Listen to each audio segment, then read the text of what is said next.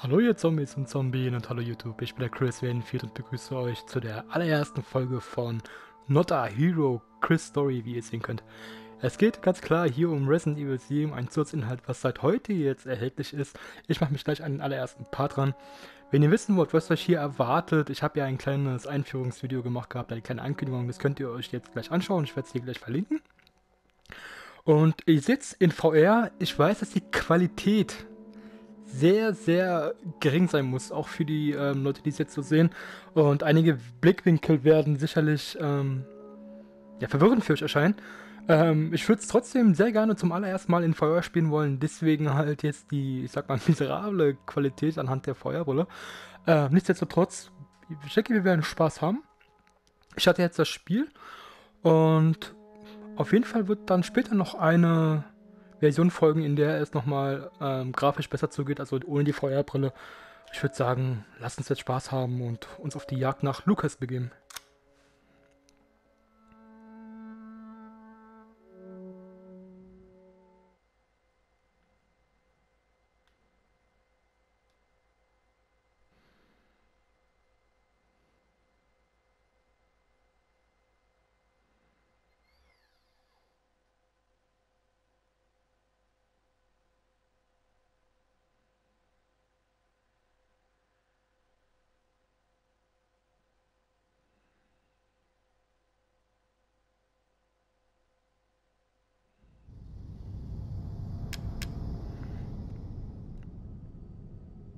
Starten wir das neue Spiel, legen gleich los. Musik gefällt mir schon mal soweit. Und ich werde es gleich, gleich auf normal spielen. Operation Lauernde Furcht. Chris Redfield hat als hochrangiges Mitglied der BSAA viele Bioterrorismuskrisen in seiner langen Karriere überwunden. Jetzt hat Umbrella, wiedergeboren als privates Militärunternehmen, seine Hilfe für die... Hallo?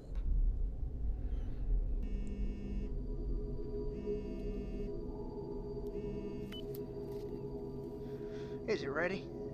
Can we begin?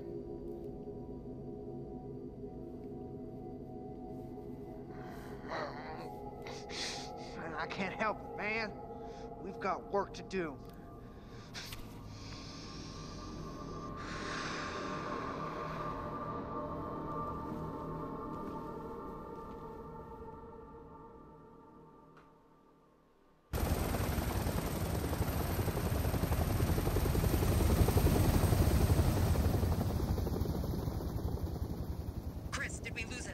No, no. Ethan Winters has been secured. He's alive and well considering. And Lucas Baker? Right now, he's our only link to the connections. He's next on my list.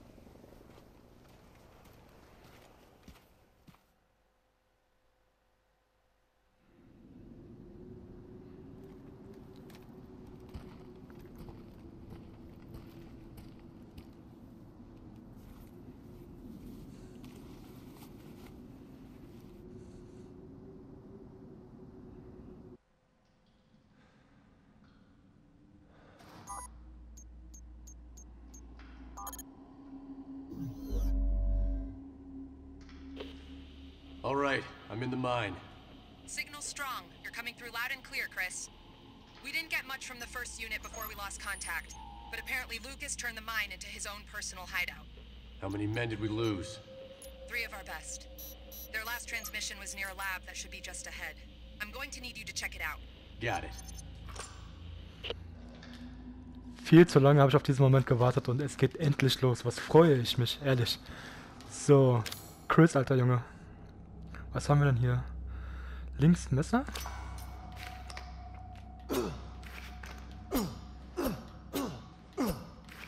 Sehr schön. Wie meine Quelle schon zuvor verrat, verraten hatte, verriet, verraten hatte, gibt es hier zwei Einstellungsmöglichkeiten. Zack. Denke mal, die eine ist für einen Angriff da, die andere als Verteidigung. Zack. Sehr schön. Wir haben hier Thors Hammer. Die Überschrot-Waffe. Was haben wir denn hier? Einsatzbesprechung Dokument. Ein Dokument, das die Operation Laune Furcht beschreibt. Wollen wir uns anschauen. Operation Laune Furcht. Missionsziel: Extrahieren Sie Lucas Baker. Ort: Dalby, Louisiana, USA. Baker-Anwesen. Gefahrenprofil: Molded, Alpha-Variante. Andere Antipersonen fallen teilweise tödlich. Hinweise. Aufgrund des Mangels an Informationen und der Zahl der beteiligten unbekannten Faktoren wird Chris Redfield von der BSAA als Biowaffenspezialist an Missionen teilnehmen. Neues Info zum Einsatzort. Neueste Informationen haben bestätigt, dass Lukas Baker sich im Bergwerk in der Nähe des Baker-Anwesens verschanzt hat. Profil Lukas Baker. Mutmaßlicher Mitarbeiter der kriminellen Organisation, die Connections, Rolle nicht bestätigt, hat unverzichtbare Informationen über die oben genannte Organisation. Profil die Connections. Kriminelle Organisation, die Biowaffen für den Verkauf auf dem internationalen Schwarzmarkt produziert. Wir haben nur begrenzte Informationen über Größe, Marktanteile und Mitglieder. Sie sind die Hauptverdächtigen im Zusammenhang mit der Produktion und Distribution der E-Series Biowaffe. Das Modell Evelyn der E-Serie ist im Baker-Anwesen präsent und aktiv. Lukas Baker scheint sie zu überwachen und über ihre Aktivitäten Berichte zu erstatten. Cool, sehr schön. Okay. Was haben wir jetzt hier? Umbrellas Ziele. Ein Brief der Umbrellas neue Ziele erläutert. Sehr schön anzusehen. So. Für viele von Ihnen ist diese Ihre erste Mission bei uns. Darum möchten wir klarstellen, worauf wir bei Umbrella aus sind. Obwohl viele unserer Mitarbeiter von dem berüchtigten Pharma-Riesen Umbrella stammen, ist es unser Ziel, die Untaten wieder gut zu machen, die unter dem Namen Umbrella begangen wurden. Aus diesem Grund haben wir uns 2007 als privates Militärunternehmen neu gegründet. Wir werden nicht nur jene aufhalten, die Biowaffen entwickeln oder verkaufen, sondern auch diejenigen, die solche Vorhaben unterstützen. Wir haben missgebaut und wir werden ihn wieder aufräumen. Ja, missgebaut ist noch nett gesagt. Und indem wir den Namen Umbrella beibehalten, zeigen wir, dass wir Verantwortung für diesen, für diesen Mist übernehmen. Behalten Sie bitte im Gedächtnis, dass Sie diese Verantwortung bei jeder Mission mit sich tragen. Roger. Okay, muss ich erstmal nochmal hier auf die Steuerung klarkommen. So. So, Lukas, dann komm mal raus aus dem Versteck.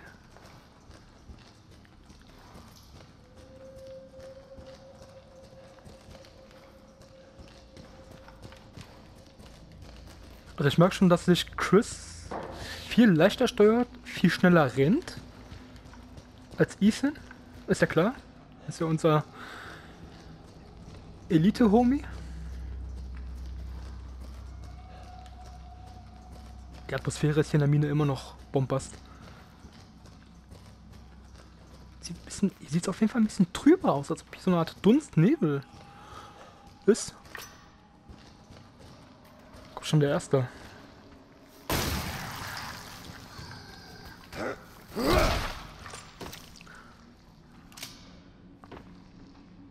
Jetzt weiß ich, wie das funktioniert. Super. Kommt schon der Nächste.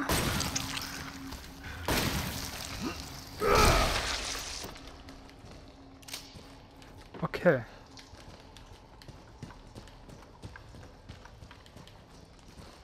Hier scheint nicht zu sein.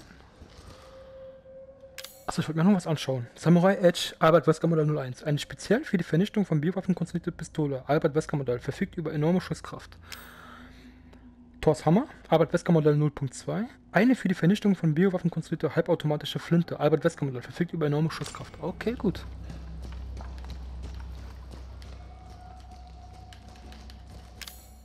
Rechts sind die Granaten. Nochmal. Muss ich mir auf jeden Fall mal merken, im Kopf behalten. Wow. Okay. Mal schnell zurück. Äh, nicht der.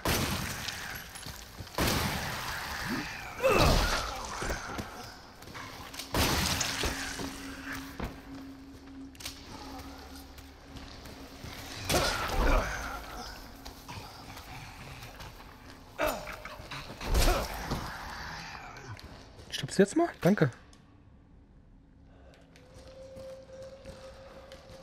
Interessant, dass die Gegner hier keine Munition fallen lassen, aber okay. The lab is just ahead.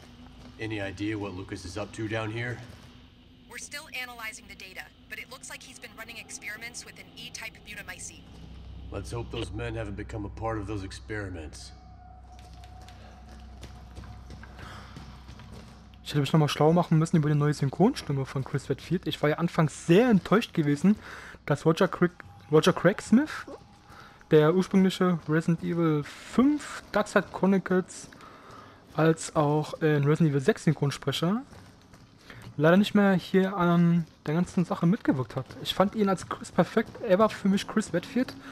Ähm, aber je öfter ich jetzt hier die neue Synchronstimme von Chris Redfield höre, so mehr gefällt es mir auch. Also man merkt, dass sich der Synchronsprecher ein bisschen Mühe gegeben hat, sich so ähnlich wie Roger Craig Smith anzuhören. Klar, kein Vergleich zu Roger, aber mein Gott. Das hat der Capcom gut drauf, Synchronsprecher irgendwie fast gleich klingen zu lassen. Oder identisch.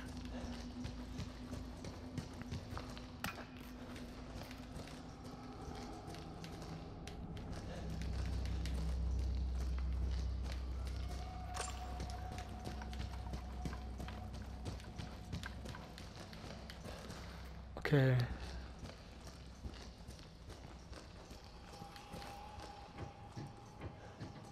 Ich habe die Steuerung so eingestellt, das wird für euch so ein bisschen verwirrend sein, ne? Dieses schnelle links und rechts äh, gegucke.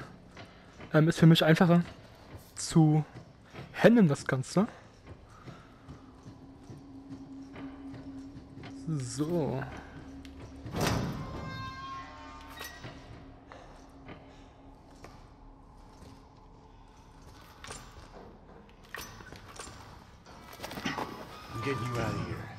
Leave me. It's too late. We're both walking out of here. I got news for you. What? That's not gonna happen. Oh, I wouldn't do that if I were you. now, you can try and take that off all you want, but I'd advise against. My hand might slip and... uh, Lucas! Oops. now here's the deal, Chris. You don't follow me, and I'll bounce your head off the ceiling. Oh, the same goes for your little soldier brains too. Adios.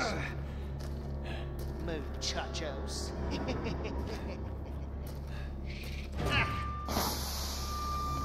Fuck.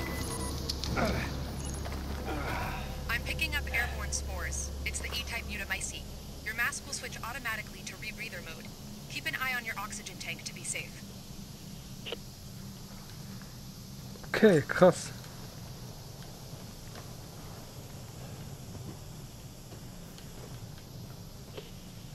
Your oxygen tank is at 50%.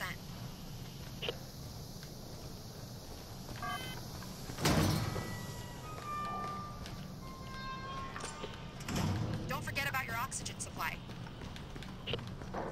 Ugh.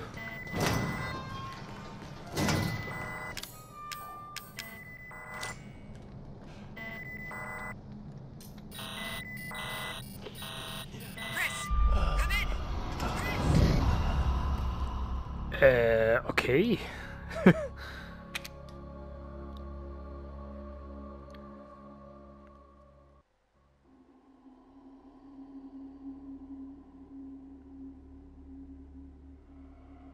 Okay, einen sicheren Bereich erreichen. Klar.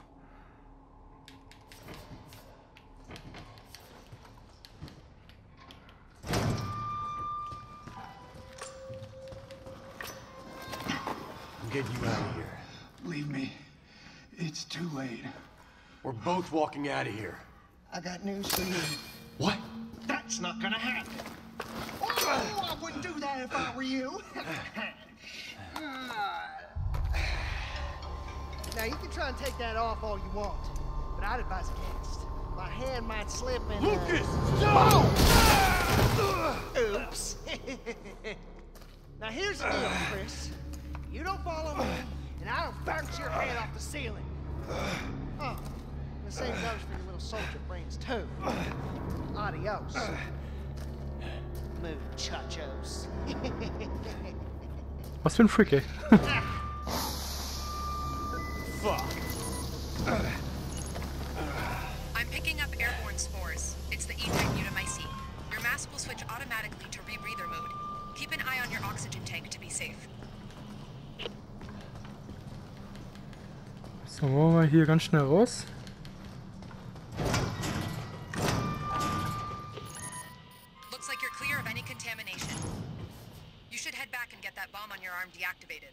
No time. I don't want to give that asshole a head start. Understood. Just be careful.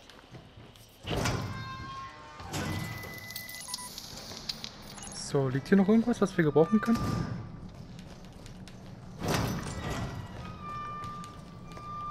Ah, die Anzeige geht so schnell runter, das ist übel. Aber hier scheint nichts Wichtiges zu sein. Okay, und wieder raus.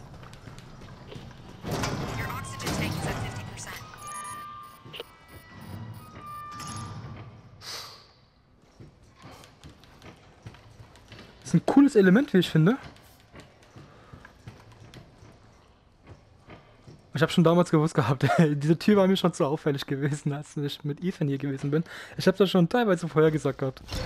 Okay. Jetzt gänzlich neues Areal hier, wow.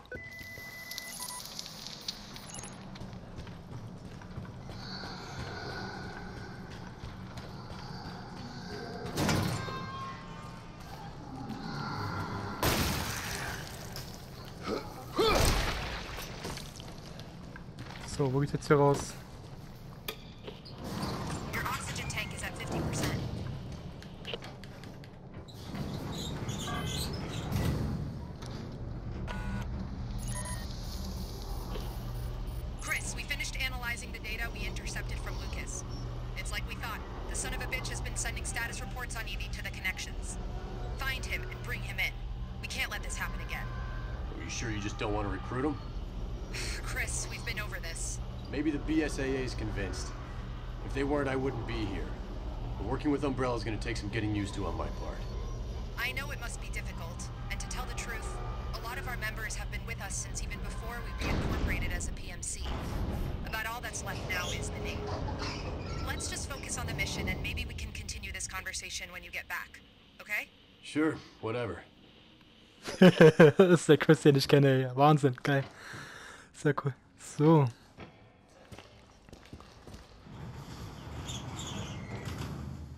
Wow.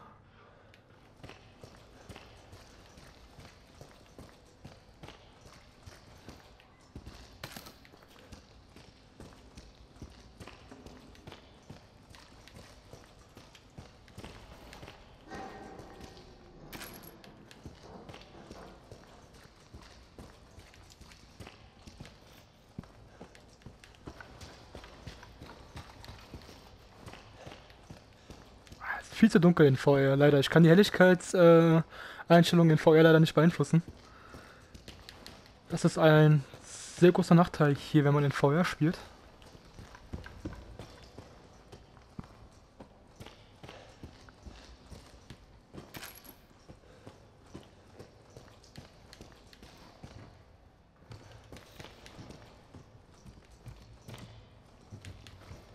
Okay.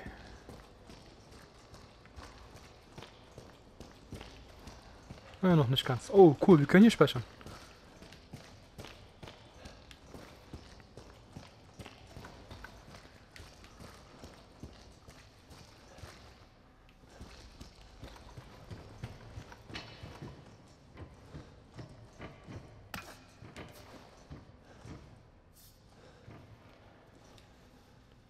Ist ja wieder cool. Die Münzen gibt es hier also auch. Sehr schön.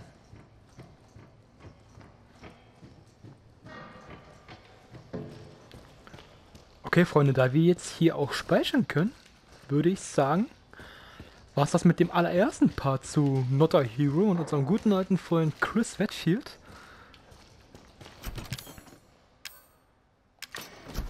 Und ich würde dann sagen, wir hören uns in der zweiten Episode wieder. Ich bin der Chris Redfield, bedanke mich bei euch fürs Zuschauen und ich hoffe, dass wir uns in der nächsten Episode wiedersehen. Bis dann, ciao, ciao.